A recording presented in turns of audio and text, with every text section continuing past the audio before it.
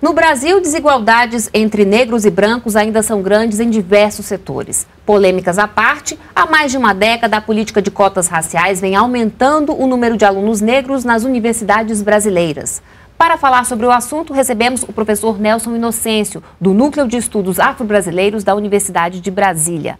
Olá, professor, obrigada pela presença, seja bem-vindo. É um prazer estar aqui com vocês para debater este assunto. Bom, professor, é falsa a ideia de achar é, de que o Brasil, por ser um país miscigenado, nessa mistura de raças, é, aqui não há racismo? É falso a gente achar isso? Eu creio que sim. A mestiçagem no Brasil é histórica. A mestiçagem no Brasil existe desde os tempos do Brasil colônia, é? quando quando havia escravismo. Então, eu acho que é um equívoco achar que a mestiçagem é a solução de todos os problemas, porque a solução de todos os problemas é, é raciais é o debate a discussão sobre o racismo. Não é?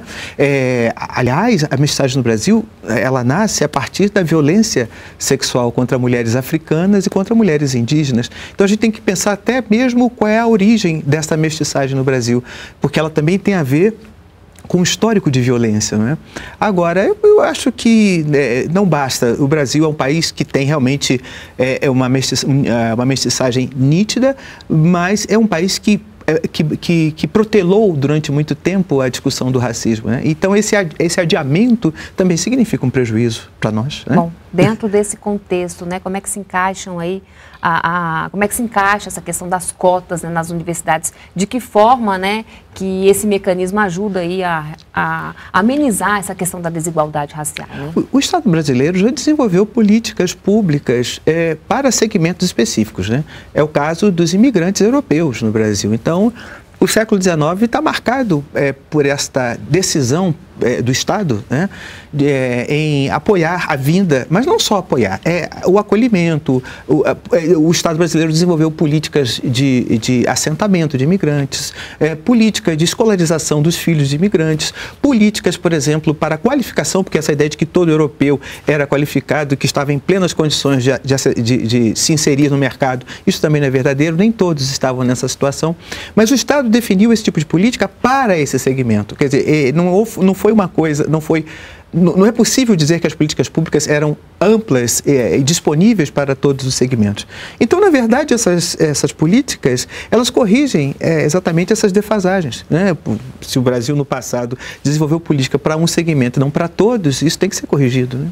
Bom, a Universidade de Brasília né, foi pioneira nessa questão da implantação das cotas raciais né, para ingresso aí na Sim. universidade. Como é que foi isso, Sim. professor? A UNB foi a primeira federal. Né? A, a, a primeira universidade no Brasil a implementar políticas foi a UERJ, mas a partir de uma lei estadual, a, a, a UERJ foi impelida, né? ela cumpra-se. Né? A UERJ tinha que implementar essa política. A UNB foi diferente, nós começamos, na verdade, em 98, a partir de uma questão, de uma tensão interna na UNB, que começa é, no, no programa de pós graduação da antropologia, isso em 98, e isso, na verdade, a reprovação de um aluno negro no, no doutorado é, acaba gerando uma polêmica, uma discussão, e dessa discussão, acho que é interessante que a universidade acaba se envolvendo e reconhecendo que era absolutamente necessária a, a a adoção de políticas para, para a inclusão de negros na graduação. Hoje a UNB já discute a pós-graduação também. Não é?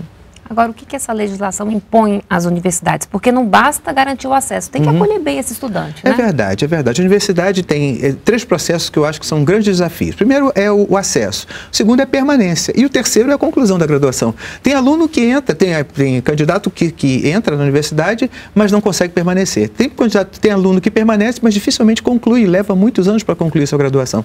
Então, tudo isso é desafio. É existência de bolsas para garantir a permanência, né? é a política mesmo de, de convencer a universidade eh, da importância, eu falo assim, a comunidade universitária, do significado dessas políticas. O aluno precisa, o aluno que entra por via das cotas, ele precisa se sentir bem acolhido, ele não pode se sentir é, é, re, re, rejeitado pelo fato de ter a entrada na universidade pelo sistema de cotas. É justo que ele entre pelo sistema de cotas. E ainda né? tem gente que olha torto para esse grupo Existem muitos equívocos. Existem equívocos entre os discentes, existem equívocos entre os docentes, existem equívocos entre os técnicos administrativos, porque é o não conhecimento, é o desconhecimento da questão racial no Brasil. E é isso que permite determinadas é, falas, determinadas interpretações que são absolutamente errôneas. E aí a gente estende também para o indígena, né? Que também Sim, é, é óbvio, beneficiado a, pelas a universidade, cotas, né? nós precisamos conviver. Eu acho que a convivência é fundamental entendeu? Conviver com a diferença é necessário para respeitá-la, não é? Sem convivência, eu acho. O Brasil é um país que tem, tem grande diversidade, mas onde o respeito à diferença não é necessariamente aquilo que as pessoas, que muitos acreditam, né? Então, Agora, quem discorda das cotas, professor, argumenta aí que é inconstitucional porque fere o princípio da igualdade, né? Como é que a gente poderia é, responder, rebater esse argumento? Olha, vai ter, essas pessoas terão que questionar a Suprema Corte, né? Porque a Suprema Corte decidiu em 2012, por unanimidade, a constitucionalidade das cotas. Se a Suprema Corte, se o STF, se o Supremo Tribunal não é né, não tem é é, é, é, é, condições, competência para, para decidir sobre isso, quem terá, meu Deus? Né? Eu acho um assinte, na verdade, essa altura do campeonato, é, desqualificar o nosso Supremo. Eu acho isso, na verdade, um, um desrespeito às instituições, né? porque, na verdade, foram, foi uma decisão unânime, né? não houve abstenção, foram, foram 12 votos favoráveis à constitucionalidade das cotas. Então, eu acho que é uma discussão fora de lugar, na medida em que né, é, a Suprema Corte já decidiu sobre, e ela é Suprema Corte, né? então ela já decidiu sobre isso. Né? Bom, em relação às cotas sociais, o que, que o senhor pensa a respeito disso? Olha, a sociedade brasileira ela tem problemas, é, é, é, a, a, questões é, é, de classe, a sociedade brasileira tem questões de gênero, a sociedade brasileira tem questões raciais. Eu acho que é necessário política pública para todos os segmentos, entendeu? Eu não, não sou refratário a, a, nenhum tipo de atenção. Agora, é bom que a gente entenda que quando a gente faz uma política focada na classe, ela tem essa particularidade, ela tem essa especificidade. Quando a gente fala de políticas ao combate ao racismo, não necessariamente ela tem que estar vinculada à questão de classe, porque o racismo ele existe independente da classe a que a pessoa pertença. Né? Nós temos aí na mídia mesmo, né? jornalistas negras, né? É, personalidades negras que foram discriminadas. E o padrão de vida dessas pessoas é muito bom. né? Então, não, não, não, a tese de que o racismo esteja necessariamente vinculada à pobreza, isso é, é é, é equívoco também, é um engano. É, e eu acho que a gente tem que pensar as políticas públicas para todos os segmentos que estão em algum nível, de, se encontram em algum nível de vulnerabilidade, não é? É Bom, isso que eu entendo. Ações afirmativas, você uhum. acha que elas devem ser é, temporárias, devem levar um tempo até se equilibrar a situação? As ações afirmativas como conceito, elas precisam perdurar por quanto existirem as, as iniquidades. Né? Enquanto você é, não tiver políticas é, para equilibrar, que eu não estou falando de política de igualdade, estou né? falando de política de equidade, que são coisas diferentes. Você precisa, agora, é óbvio, política de cota, a UNB estipulou 10 anos. Né? Em 10 anos, ela não chegou no percentual que ela propunha, que era de 20% do, do corpo docente. Então, foi possível negociar com, com os colegiados superiores para que a gente estendesse um pouco. Mas é óbvio, no momento em que você consiga chegar a uma relação mais equilibrada, não há necessidade de você ter políticas dessa natureza. Agora, você tendo políticas dessa natureza, claro, elas são necessárias, mas é preciso olhar também, no caso, da educação, né, na base, né? Sim, Melhorar a educação na base para poder todo mundo ter oportunidade, a né? Própria, a própria lei de, a lei, a, a, a lei de cota para a escola pública que o MEC né, é, é, é, é, é aprovou, na verdade, ela não, é, ela não pode servir de pretexto para um relaxamento em relação às instituições públicas. Né?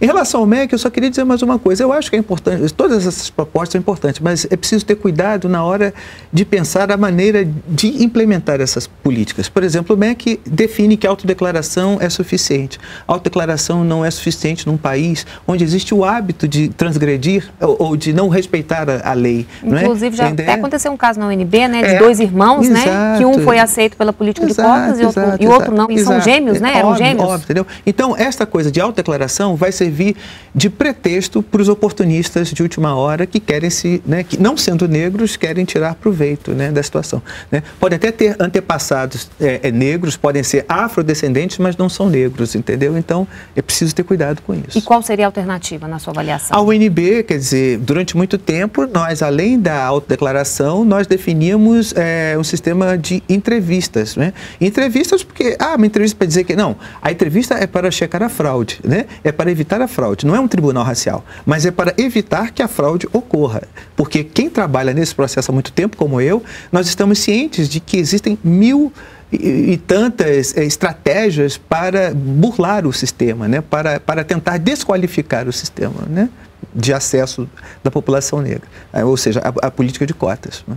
Como é que você vê a extensão dessa questão das cotas para outros setores, por exemplo, concursos públicos? É também uma demanda, entendeu? Porque é, é, isso que a gente fala. Quer dizer, essa história de existir, como diria a antropóloga Lélia Gonzalez, um lugar de negro no Brasil, é, é, é no Brasil se naturalizou o absurdo, essa ausência negra nas instâncias. E quando a gente está falando de funcionalismo público, a gente está pensando a, a, o poder executivo, legislativo, judiciário, todo, é, todo funcionalismo público. Né? É, a presença negra sempre foi diminuta. Dizer, não é que ela não existisse, mas ela sempre foi muito reduzida, muito tímida, acanhada, e isso não corresponde ao percentual é, é, da população. Quer dizer, quando a população negra, se a população negra no Brasil é mais da metade né, do, do contingente brasileiro, alguma coisa está errada alguma coisa está errada. E é como eu disse, essas políticas elas terão que acontecer até que a gente consiga ter um, mínimo de equilíbrio. Por exemplo, é, o concurso do Rio Branco é para é, tentar mudar um pouco a cara do, do corpo diplomático brasileiro pelo menos um pouco. Né? Eu acho que isso é necessário. E, enfim, é, a gente tem esses desafios. O Brasil começou é, a desenvolver essas políticas agora, no, no início desse século. Então, nós temos aí algum tempo para para podermos avaliar o, alcance dessas políticas e entender se é, a sociedade precisa entender a relevância de tudo isso, né? Bom, precisa, né? Falando nesse entendimento, né? O que que todo esse debate já ensinou e tem ensinado ao Brasil? Que o Brasil é sim um país que produz o racismo, mas isto é um aspecto da nossa sociedade toda cultura tem aspectos bons e aspectos ruins. Eu acho que o erro no Brasil foi essa visão maravilhada de sociedade. Eu gosto de ser brasileiro, não tenho vergonha de ser brasileiro, mas percebo que na minha sociedade também existem aspectos que são lamentáveis. É? Né? Então, é, o Brasil é um país interessante, mas ao mesmo tempo é um país que é violento contra as mulheres. O, país é um, o Brasil é um país interessante, mas ao mesmo tempo é um país homofóbico. O Brasil é um país interessante, mas ao mesmo tempo é um país racista. Então a gente tem que entender isso, que, que essas contradições fazem parte da cultura e, e não querer enxergar isto é pior. Ou, ou protelar, adiar, postergar esse debate é pior ainda. Não é? A gente tem que entender o que é ser brasileiro com essas contradições e lidar com essas contradições. A gente precisa enfrentá-las. É isso que eu entendo como algo necessário. Né? Tá certo, professor. Muito obrigada pela sua análise, pela sua presença aqui no NBR Entrevista e até uma próxima oportunidade. Eu que agradeço a possibilidade de dialogar com vocês. Obrigada mais uma vez. Bem, outras informações então na página do Núcleo de Estudos Afro-Brasileiros da UNB. E se você quiser rever essa entrevista, é só acessar o nosso canal no YouTube. Muito obrigada pela companhia e até o próximo programa. Continue aqui com a gente na NBR, a TV do Governo Federal.